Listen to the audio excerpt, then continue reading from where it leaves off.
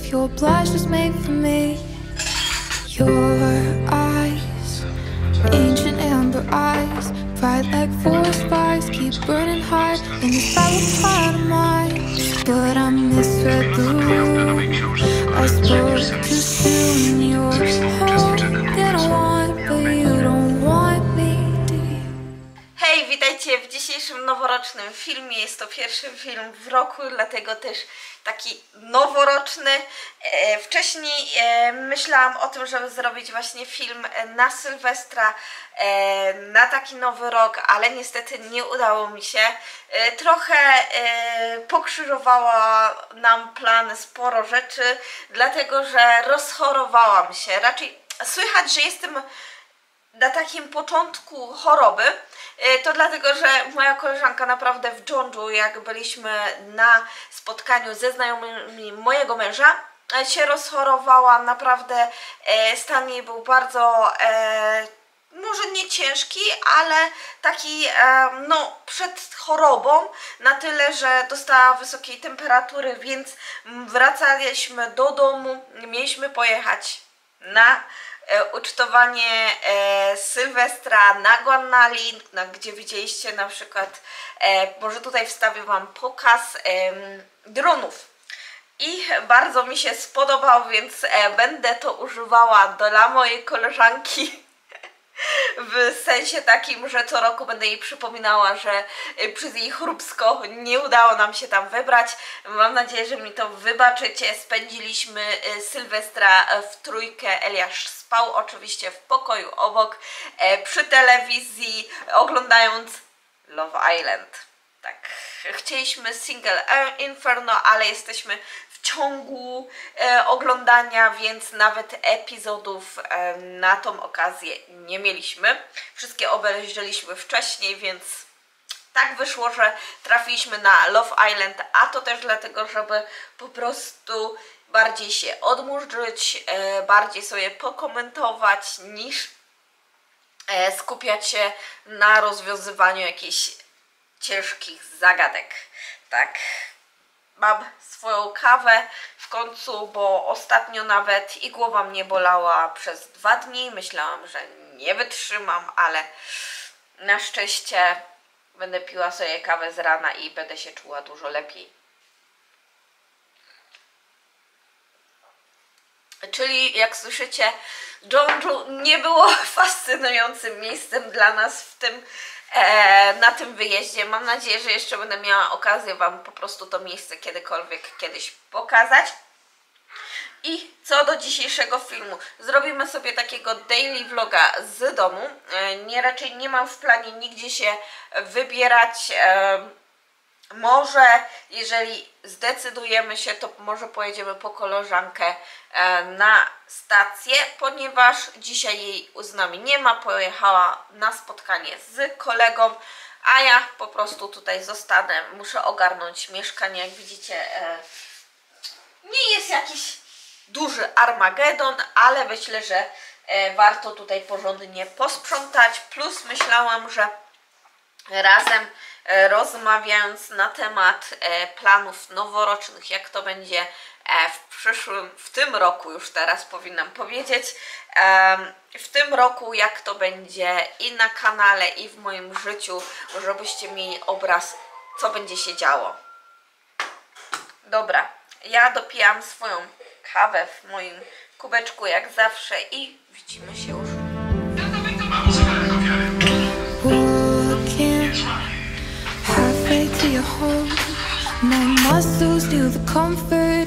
Oczywiście na chorobę klasycznie był rosół, więc y, dzisiaj jeszcze będziemy dojadać rosół na e, taki lunch e, i też gotuję więcej makaronu, bo będziemy dzisiaj mieli po prostu makaron bolognese.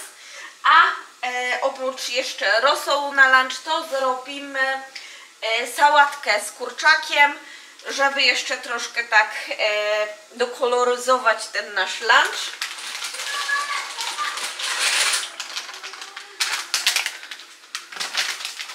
Dzisiaj muszę trochę więcej tego makaronu ugotować, bo koleżanki co prawda nie będzie, ale e, raczej będzie na obiedzie.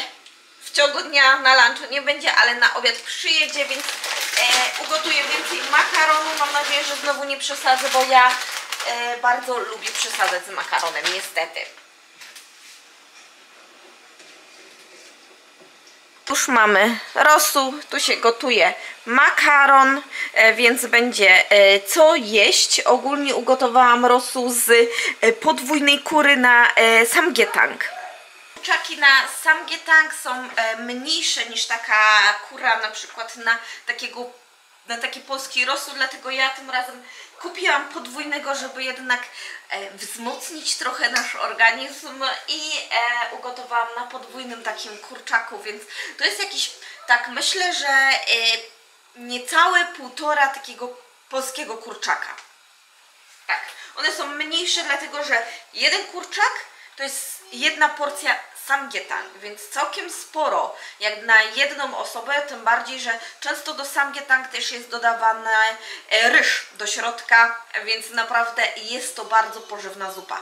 I różnica, e, spora różnica między samgyetang a e, polskim takim rosołem jest to na pewno, że rosół jest klarowny, czyli jest jasny, jest przezroczysty i widać taką, gę, e, taką gęstość przez to, że był długo gotowany.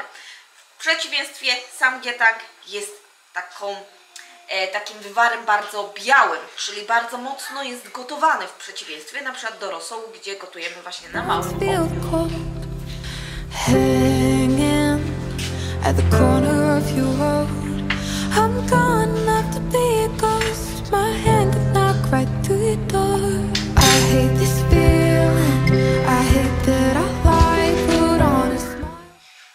sobie tutaj gadu gadu, a wiem dlaczego pewnie e, przyszliście e, na obejrzenie tego filmu, a pewnie dlatego, że przeczytaliście tytuł.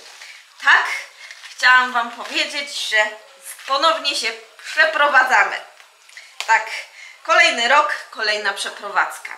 No niestety, e, raczej dla nas stety, bo na tym, że się przeprowadzamy, to nie koniec informacji.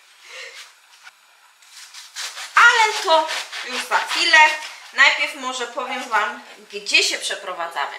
Zostajemy w Busan. Tak. Więc daleko nie idziemy. To ja już postanowiłam, że Busan zostaje takim miejscem, w którym e, chcę jak na razie mieszkać, jak na razie mi się tutaj podoba i wiążę e, w najbliższą, dłuższą, można powiedzieć tak, przyszłość tutaj właśnie w Busan. Oczywiście nie wiemy, co nam przyszłość przyniesie, więc e, nie zamykamy drogi e, tylko i wyłącznie na to miasto, ale wiążemy z nią przysz, większą przyszłość.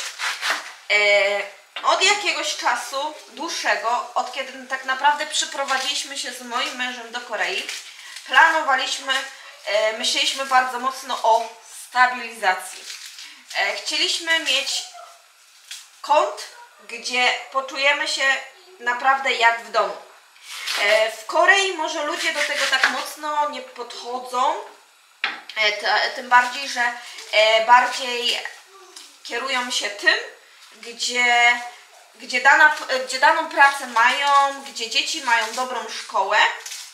Dlatego nie kierują się tym tak bardzo i nie przywiązują się do miejsc. Ale ja, jako nauczona życia w Polsce, e, potrzebowałam po prostu stabilizacji w moim życiu.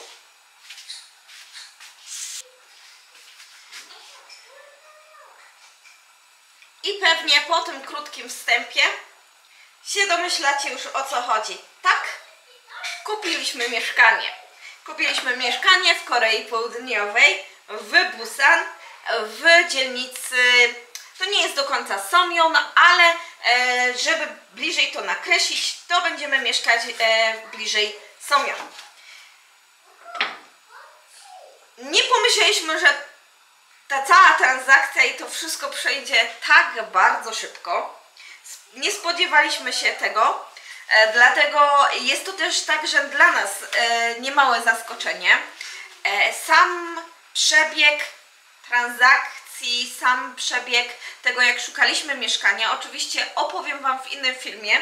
E, Dlatego też e, tutaj raczej takich e, szczegółów nie dowiecie się, ale jeżeli dobrze się mogliście domyśleć, niektórzy mo może mogli się domyśleć, to na przykład kiedy opowiadałam o mieszkaniach e, ostatnim vlogmasie e, i szukaniu mieszkań, to właśnie z tego też powodu niedawno temu rozglądaliśmy się i sprawdzaliśmy ceny kosztów e, kupna mieszkania. No i wyszło tak, że w pewnym momencie, nie powiem, jeszcze nie zdradzę Wam w jakim momencie, kiedy ogólnie e, zakupiliśmy tego, e, to mieszkanie. Czekajcie do osobny filmik, ale w pewnym momencie po prostu postanowiliśmy, że e, nadarzyła się taka okazja, e, taki dobry deal, że stwierdziliśmy, dobrze, kupujemy to mieszkanie. Oczywiście e, będzie miniseria na temat e, naszego nowego mieszkania, samej przeprowadzki, e, bo sama przeprowadzka odbędzie się już niedługo.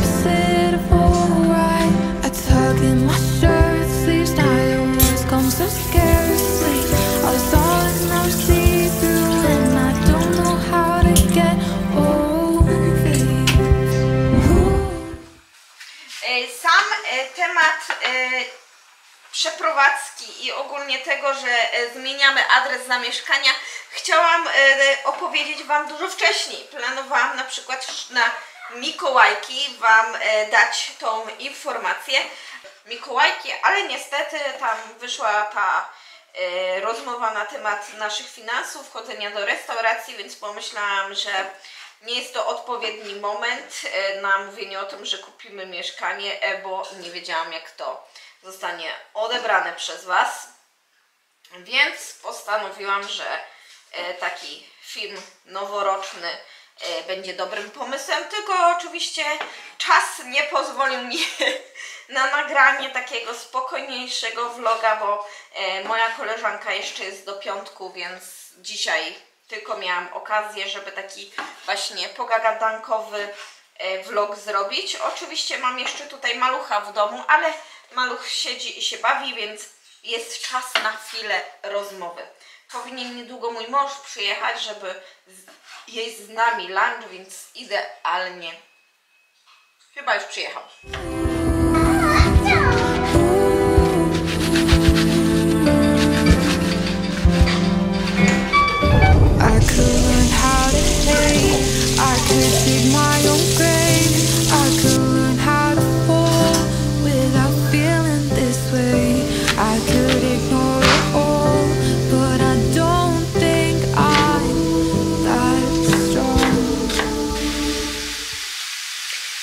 Tak oto chciałam się z Wami podzielić tak tą nowiną.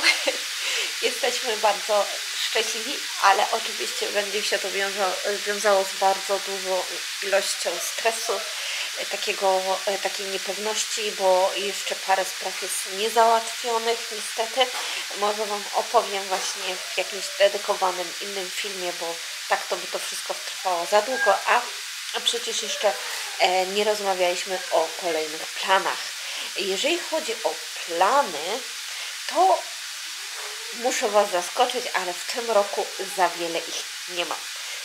Po poprzednim roku nauczyłam się tego, że e, planowanie nie zawsze nam wychodzi i e, nie wiem, czy czuję się odpowiednio na teraz, tak mentalnie, psychicznie na to, żeby sobie coś planować i potem wiązać się z tym, że e, czegoś nie uda mi się zrobić. Dlatego postanowiłam, że w tym roku zrobię taki test i po prostu muszę odsunąć, bo tu jest cebula i strasznie oczy mi zaczęły łzawić. E, oprócz tego jeszcze przecież jestem chora. To właśnie w tym roku chciałabym zrobić taki test i po prostu nie planować. Oczywiście będą to jakieś e, zadania, które e, w ciągu tygodnia, w ciągu miesiąca będę wykonywała, ale jako takie roczne plany nie planuję. Nie mam zamiaru planować. Na pewno y, z tego, co wiem i z tego, co ma wyjść, to mogę Wam zdradzić. Oprócz tej przeprowadzki, to oczywiście będziemy lecieć do Polski. Prawdopodobnie na przełomie czerwca i lipca bardziej, albo tak w samym lipcu. Moja mama ma urodziny, więc chcemy oczywiście spędzić e, z nią ten czas. Przy okazji tutaj w Korei jest e, sezon, pora deszczowa, więc lepiej, aby spędzić zamiast w Korei w domu, spędzić ten czas właśnie w Polsce, kiedy temperatury w Polsce są przyjemne, ciepłe. E, Je, niestety początek czerwca, kiedy byliśmy w Polsce, ja troszkę zmarzłam, było mi zimno, więc powiedziałam, że też lipiec będzie taką lepszą okazją na odwiedzenie Polski.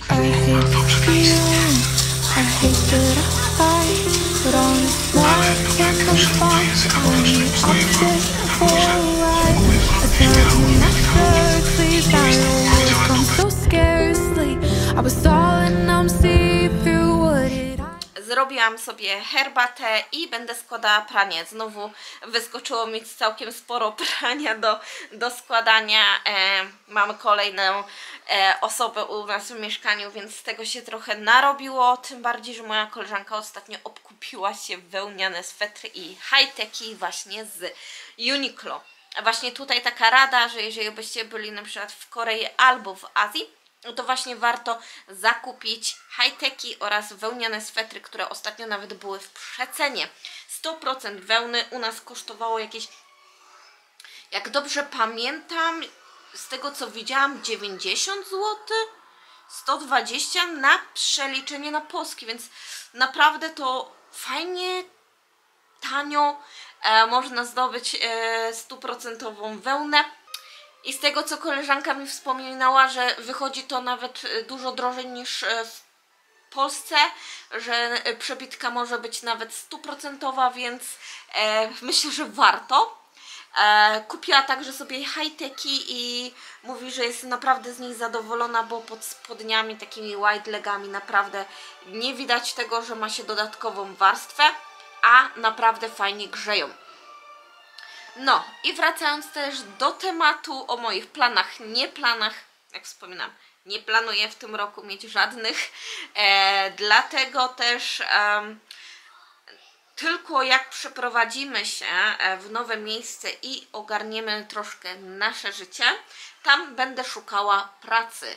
Tak, żeby wspomóc em, finanse mojej rodziny, plus żeby mieć możliwość odkładania pieniędzy. Chcę właśnie e, znaleźć w sobie pracę em, i żeby mieć po prostu większe możliwości e, finansowe oraz e, żeby nie siedzieć e, za dużo w domu, wyjść do ludzi, poznać e, ludzi, którzy mówią po koreańsku, bardziej tym językiem się dookoła obtaczać. I tak, taki mam pomysł. Zobaczymy, jak to e, wszystko się potoczy. Mam nadzieję, że przeprowadzka przejdzie sprawnie, chociaż do, do tej przeprowadzki, chociaż niewiele nam zostało, jest sporo jeszcze do zrobienia, więc naprawdę a, intensywny początek roku. Tym bardziej, że właśnie czuję, że coraz bardziej łapie mnie no, dobra, zabieram się za sprzątanie, za e, właśnie składanie tego prania, bo za chwilę kolejna porcja wyjdzie właśnie tych swetrów wełnianych.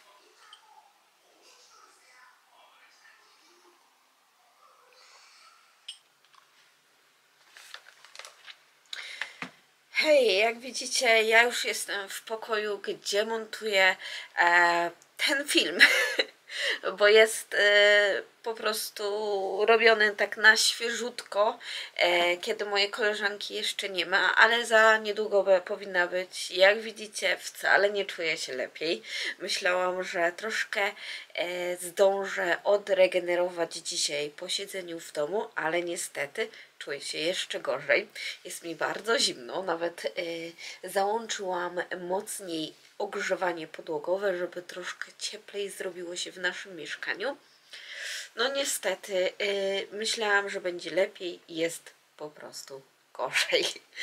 Mam nadzieję, że mi to wybaczycie, ale chyba już w ten filmik tutaj skończę. O wszystkich najbliższych takich rzeczach, co będą się działy e, na tym kanale i nie tylko powiedziałam. Oczywiście zawsze będziecie update'owani w najnowszych filmach, więc mam nadzieję, że już subskrybujecie kanał, polubicie ten film, dacie jakiś komentarz i będziemy się po prostu słyszeć kolejnym razem. Dziękuję Wam za zeszły rok i oczywiście dziękuję, że tutaj jesteś.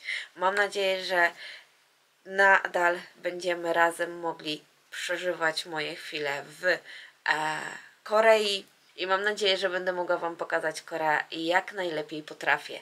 Dziękuję Wam bardzo, życzę Wam jeszcze raz wszystkiego najlepszego w nowym roku i widzimy się w kolejnym materiale. Bye!